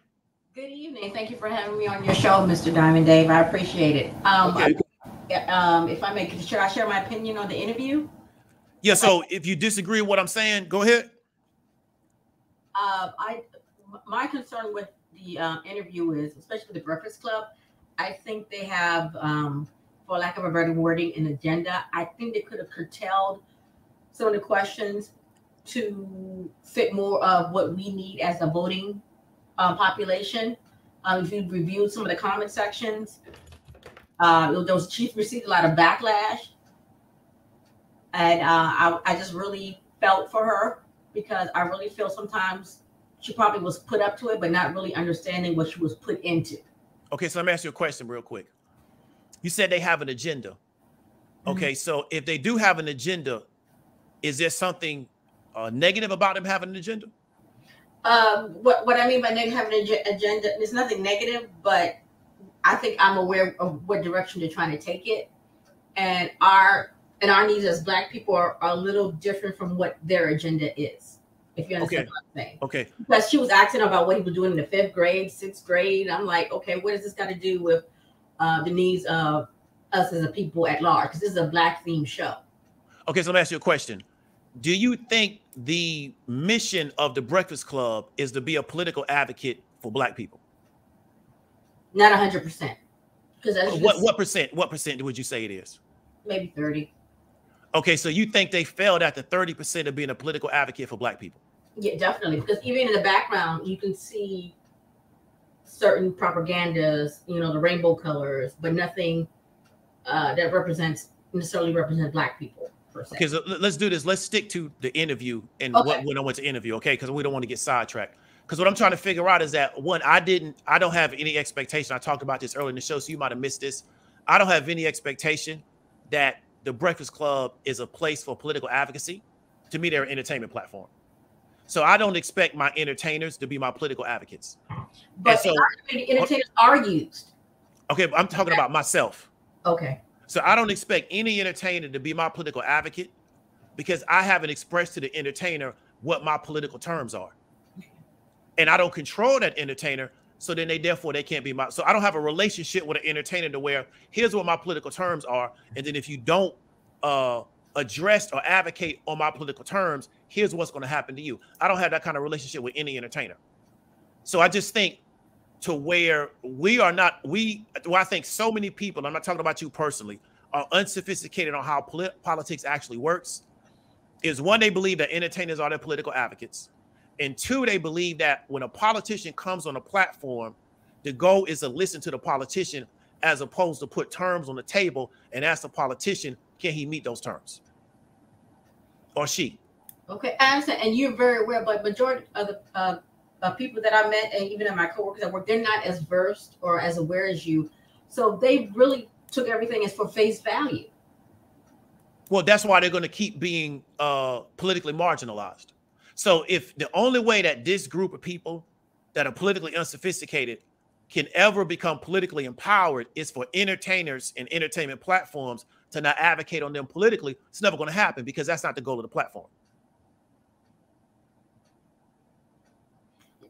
I understand that's not the goal of the platform, but that's the, the goal of, of a lot of people of uh, my you know uh, my community that I see when they watch the Breakfast Club, because that's all they go to the Breakfast Club for entertainment, get the latest on po- politics and gossip. Okay, so if that's what they go for, then why why would there now be an expectation that that's going to be a space for political advocacy?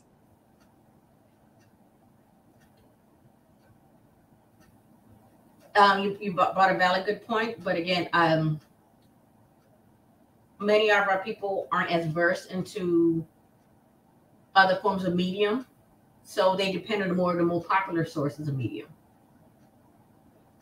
such as the Breakfast Club, and you know take their snippets and move on and come to work and share the talking points. Okay, so do you think that the the I think her name is Tezlyn she didn't allow Vivek to get off his talking points? You think that was incorrect for her to not to do that? It was her interview, and she got it in the way she felt it was. It should have gone, but it didn't go. To me, it didn't go right. It went. It was a disaster. So, what direction should it have gone in if it didn't go right, in your opinion? I think first of all, again, uh, one of the concerns was her accent about fifth grade, sixth grade um, involvement. I think that was a bit too much. Mm-hmm. I think she should, like, again, should have talked about more of if you were to run as president or become in a political position, how would you benefit the community at large? Because this is a black themed show. Uh, and also, also provided some, you know, some basic political education to the population at large who may not be as versed. Okay, so let me ask you a question, and I'm just interested in understanding this. Okay. When speaking to a politician, why would the question be what the politician is going to do, like an open question, like what? It's almost like a, a beauty uh, a beauty pageant question. Why would the questioning be very open ended as to what are you going to do for the black community, as opposed to here's what we want, and do you have the ability to provide it? So basically, making a, a demand or request off the off the breaks. Exactly. That's called political advocacy. again, I know, okay, that's a good question. But the thing is, what I feel is though, because of who sponsors the Breakfast Club, I don't think they would necessarily allow it to come from that angle. Okay, so I understand that, but then what I'm asking you is that if you believe that she should have took the angle of, well, what are you going to do for the community? It do you believe that to be the right angle for her to take? Because I prefer her to take the angle that she did take than to sit there and let that guy bloviate and come up with a and craft a whole bunch of narratives and do a, a, a lecture style, you know, essentially where because what he tried to do with them is he tried to play high man and get them to play low man. We learned about that in screenwriting. What Tezlyn did was didn't allow him to make her the low man. And I'm saying that from a unisex standpoint. And so that's what most people are used to of politicians. So then because he couldn't play high man and make her play low man, he no longer had a leg to stand on because that was the only pretty much the only card he had on the table because he's a debater. So my thing is that if we don't feel that she did the correct thing, why are we asking her to do something that's still not based on political advocacy? You have a right to your opinion. I'm just trying to figure out why we have so many people that don't really believe in political advocacy, but they want something out of politicians. Well, the only way to get something out of politicians is to have political advocates that demand things out of politicians.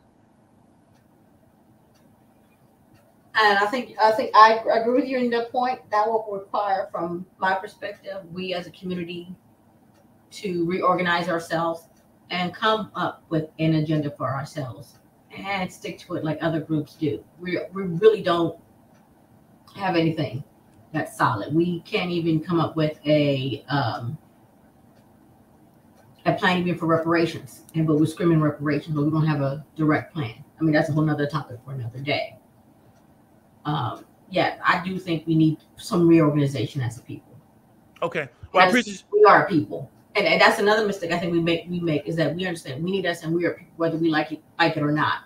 And so therefore only way we can advocate for ourselves is to, you know for us to come together as a people to promote our needs in the story and and uh so because like Vivek uh he stood his ground and that's it. Mm-hmm. Okay. Well, I appreciate you coming on. I really appreciate it. Thank you for having me. I appreciate you. I appreciate you. I, I can't wait till next week to, for the next topic. Yes, ma'am. Thank you.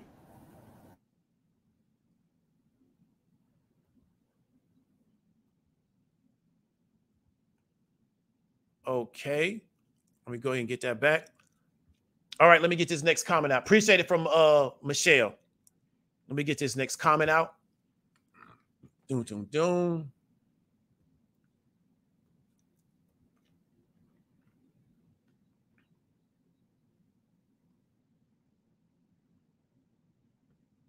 oh.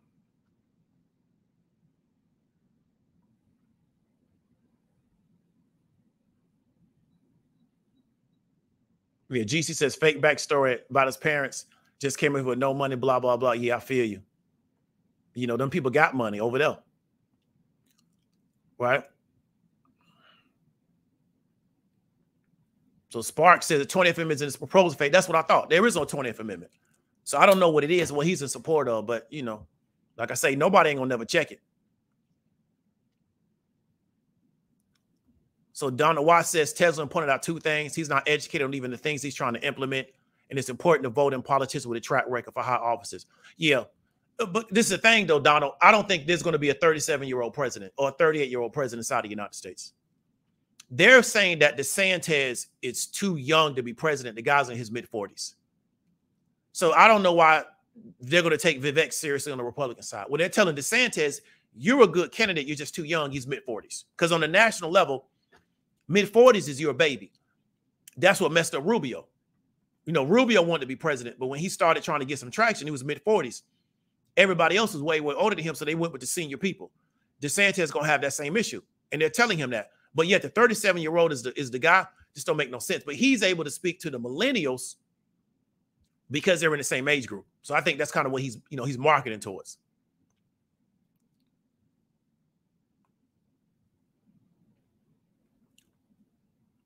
Okay, we're gonna get you up out of here. It's funny how people they do stuff to get one comment and they just done.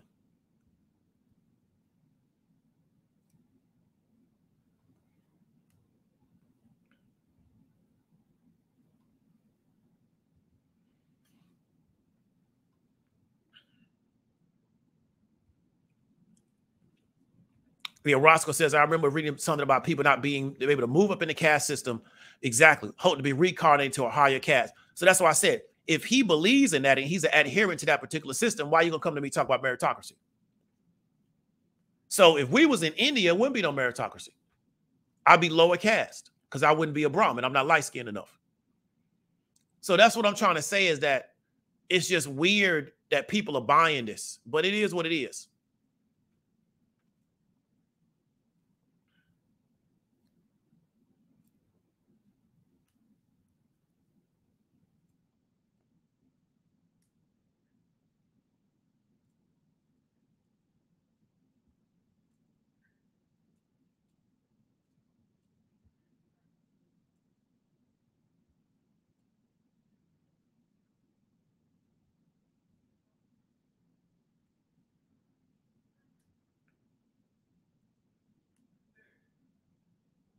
Your six says light skin and white eight skin is at the top. Yeah, definitely. They are because they're Indo, they're Indo-Aryans. See, that's people that got to realize that really the in India, they're really different ethnic groups. But they don't really want people to know that just because they're all in one country. So the Brahmins are really uh, Indo-Aryans. The other people are not Indo-Aryans, but that's you know we ain't trying to get into a, a, a deeper conversation. So really, what we call India really is filled with different ethnic groups, and they built that caste system to put Indo-Aryans at the top. And we believe the Indo-Aryans were the people that invaded that region thousands of years ago when there was nothing but darker skinned people in that region of the country or the region of the world. I'm sorry. But we're not having an anthropology discussion. So Dr. K says, I'm out here near Silicon Valley. The money remains in house. I believe you. I believe you 100%.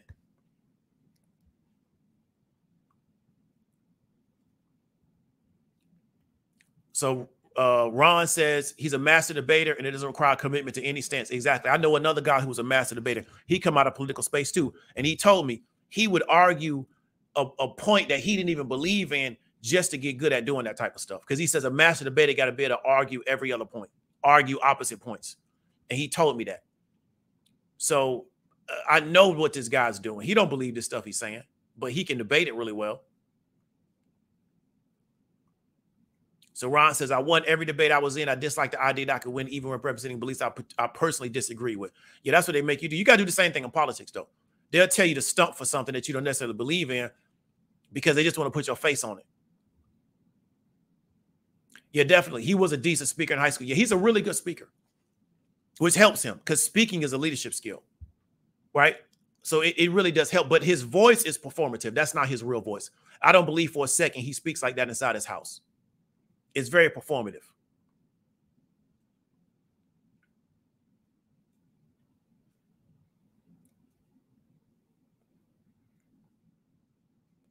So Katrina says, recognize this game being shared. Appreciate it. So she says, my son went to a Jesuit school. They pound that theology. Yeah, they should. I mean, it's their school. I get it. You know? So what I'm saying is that it's impressive that he's so committed to being Hindu that even though he went to that school for four years, he didn't come out a Catholic. So it goes to show you how much he believes in being a Hindu, right? Because he didn't switch up.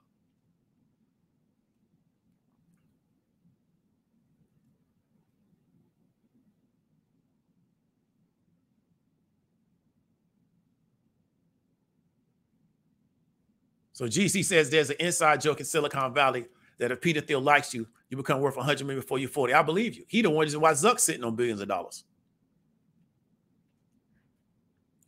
So Sam Altman is also Peter Thiel protege as well as Paul Graham. Okay, I got to check them out. So Dr. K says parents probably pay the tuition. Admissions loves immigrant students as they pay the year up front. I feel you. I don't know. I ain't go. You know, I, I couldn't get into none of them private schools. I had to go to a state college.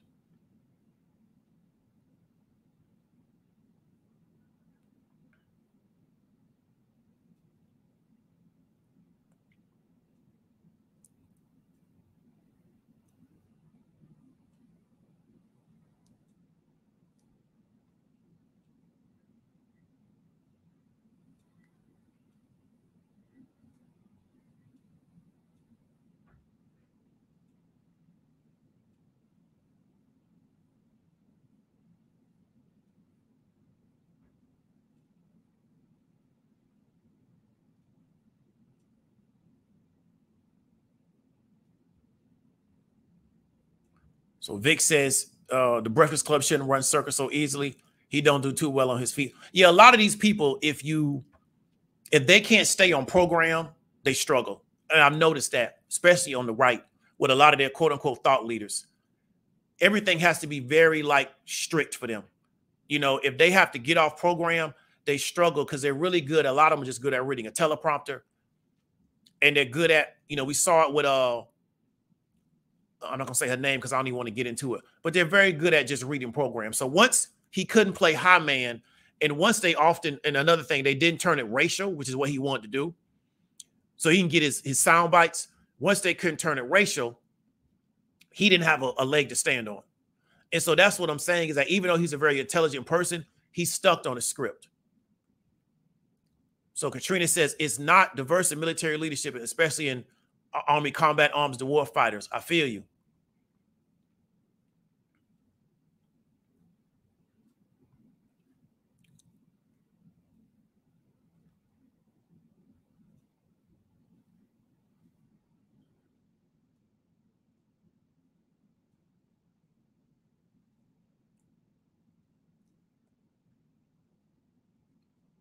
So Jay says she was rude and talked over him the whole time.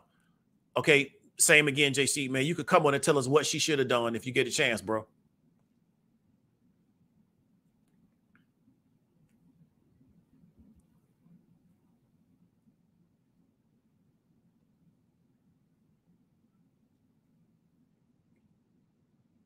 Okay, so I see you just with trolling. So we're gonna get you out of here. Appreciate it though, man.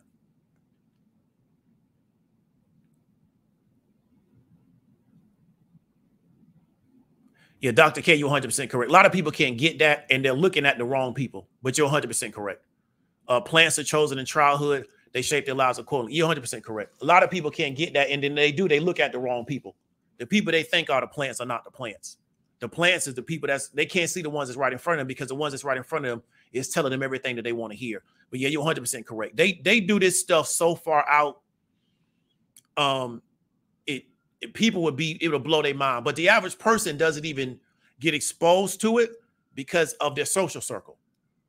So the only time they may think about it is like when we're having a national election, but it's even deeper than that. It's also on the state level. But yeah, this stuff is is is deeper than what people think because this whole system is planned out. I tell people all the time when I used to train traders, and I still do, is that the reason why you haven't been taught how to manage capital is because that was never supposed to be your role in this society, right? Because we have an economic caste system here and also a social caste system. It's not based on religion. So the reason why you would never taught these things and you're supposed to hand this off to somebody else and they're supposed to make all those decisions in that area because it was never supposed to be your job. You're not even supposed to ask certain type of questions about capital. So you ask somebody, the average person in America, uh, what's the acceptable rate of return on capital for you? They can't even answer the question because they're not supposed to know the answer to that question. They're supposed to go by what somebody else tells them. So this stuff is very much planned, but you can't run a society without planning it out. It's just to me how you plan it out. But you're 100% correct.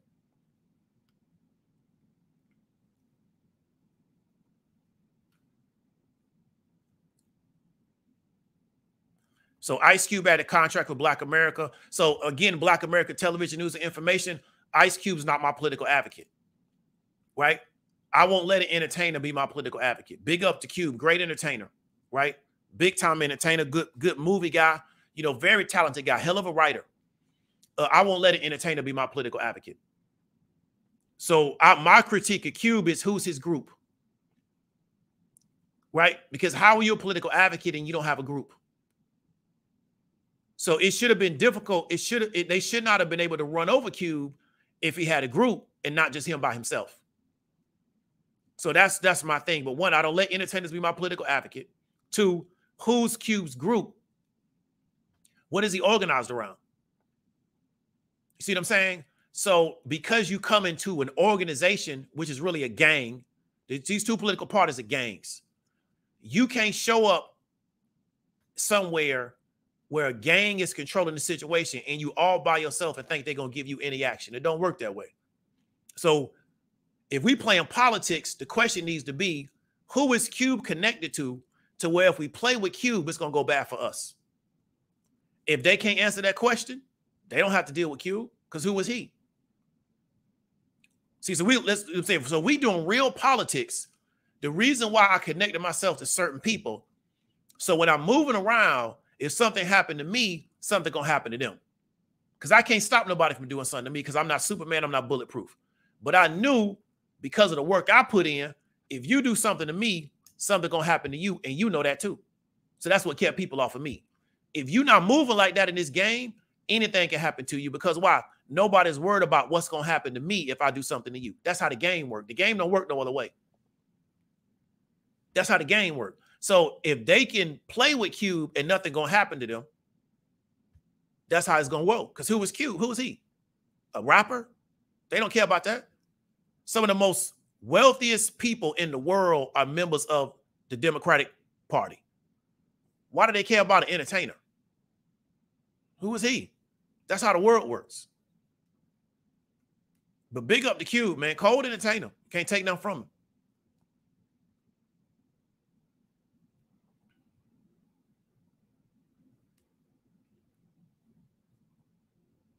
I see Buddy Jay Green kept posting. Boy, these people wild. Yeah, definitely. Uh, Dr. K, I years ago I found out uh like who the Bushes really were. It was some deep stuff. So I see why they where they at. But I didn't know, but I had done some research on who the Bush family really was. So I see why everything, because I told people years ago, you don't become director of the CIA, you don't know people. And that's why Vivek's saying, I'm gonna get rid of these federal agencies like the FBI. You ain't gonna get rid of nothing. You don't know who these people are. They'll get rid of you first. But it sounds good because he knows there's a, a, a, segment on the right that are mad about this judicial or legislative movement, really judicial movement against Trump. So I can get traction by saying I'm gonna get rid of the FBI. No, you're not. You don't get rid of them. They'll get rid of you. You think all these FBI agents are gonna let you get rid of their organization that they eat off of? Life don't work that way but it sounds good to that to that movement. But yeah, you, you 100% correct. I did some information on where the Bush family really came from. It was some deep stuff. I see how dude got to be directed to CIA and how his son got to be president. He was president too. Whole family was up there. All right, man. So we're gonna get up on out here. Appreciate everybody for coming through. Don't want to hold you too long, but I want to really encourage you make sure that you just don't buy these people on face value and also encourage you to get some political advocacy. The only person on this YouTube that really talks about political advocacy is Yvette Carnell. I'm not a fan of everything she does. I think she's kind of reckless in the way in which she communicates to people, but that's me. We, me and Yvette from different environments, and we come out of different structures. But one thing I will give her credit for is she talks about the importance of political advocacy. And that's something that many of us as black people, ADOS, whatever you want to call it, FBA, we don't know it. We don't know what it looks like, so we don't know what we're missing. And what they've done is they've they have uh become so successful at denying us political advocacy, and it's worked. They're now rolling this out to the larger population. And America eventually going to look like the rest of the world to where 99% of the people in the world in America have no political advocacy and all the political advocacy is going to the 1%. But they've taught the 99% that that's just how the world's supposed to go because that's how the world works for the, the majority of the world, the majority of the world has no political advocacy. Right? So you do stuff like let politicians sit in front of you and just talk. There is nothing to talk about. Here's what we want.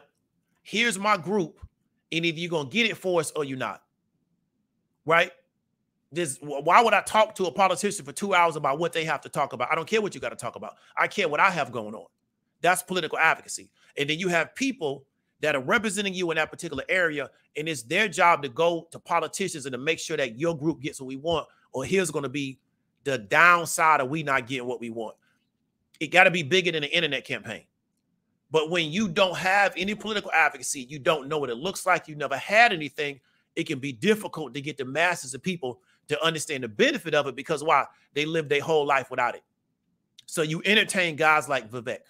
And not only does this happen to black folks, it's also going to happen to working class white folks because the goal is to strip 99% of Americans out of any kind of political advocacy. Right? That's what these guys are really advocating for while talking about meritocracy and all this other stuff because they already up. So they don't care about nobody else. Hope y'all have some got some value from it. Like I said, man, we don't do right or left. I don't care what you are. I'm a Buccaneer. I came in a Buccaneer. I was born on the water. I was born literally on the island. Just understand that. Y'all was born on land. I was born on the island. In the in, I was really born in the bay for real. I'm a real Buccaneer. Spent more time in the water than most of y'all gonna ever spend. Probably spent more time in the water before I was 10 than most of y'all gonna spend the rest of y'all life. I don't do Democrat. I don't do none of that stuff. Right? Those are football teams. I'm a fan of the Bucks because I'm a Buccaneer. So please miss me with all of the you a leftist, you a this, you a that. No, I'm a Buccaneer right? And you should come down to Florida and see what Bucking is, how we really living, if you can really handle it, right? So y'all have a good weekend, man. Y'all stay safe. Y'all keep it pushing. But I want to really encourage you, man, to educate yourself on what's going on around you. Don't take things on face value, and don't let people just talk you to death around what they're going to do, and you don't put what you want to do on the table. Right? Talk to you later.